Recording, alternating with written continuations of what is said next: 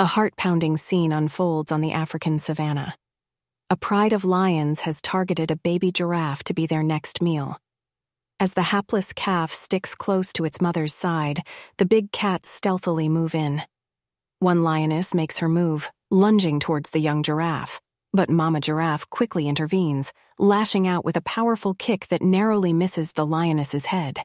The predators regroup, not ready to give up yet on this prize catch. However, the vigilant mother stays right by her baby, ready to fend off any further attacks. It's a tense standoff. Hungry lions sizing up the tall prey they desire, but facing down an aggressive parent determined to protect its little one. Who will emerge victorious in this drama playing out on the African plain?